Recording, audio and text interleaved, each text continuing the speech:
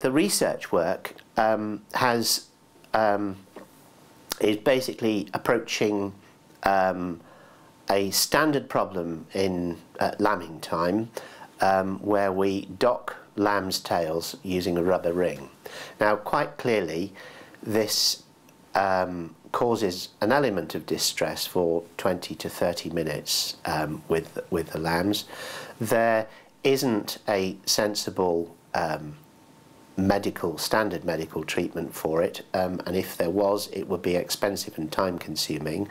Um, so my approach was to say, okay, well, let's try um, standard homeopathy, um, which we are told will, will work. Um, so that I did, and after um, uh, one pilot study and now a, a full randomized controlled trial, uh, double blind, well, actually triple blind, technically, um, it's produced about a 30% reduction in the amount of pain and distress experienced by these little lambs.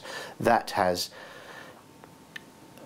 you might say, well, that's a very brief uh, effect. It's not very, uh, it's not really uh, going to have any long-term impact, but it probably will do because um, if you, when um, disease sets in, um, particularly in, in young lambs, when they are distressed for any reason at all. And if you can do things which cut down um, standard interventions which need to be done, such as the tail docking, such as, uh, such as castration, then and you can cut that distress down to a level which is which is much more manageable. You reduce the risk of other disease coming, coming in and getting a hold.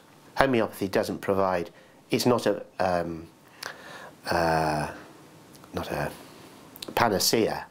Um, it's, it's, it's there to be used and sometimes you have to use antibiotics um, or, or depending on, on your, the development of your homeopathic ability, uh, especially in the early days, you have to use you have to use both. But as you progress in your homeopathic expertise and experience, um, you find that the the use of uh, conventional medication does drop.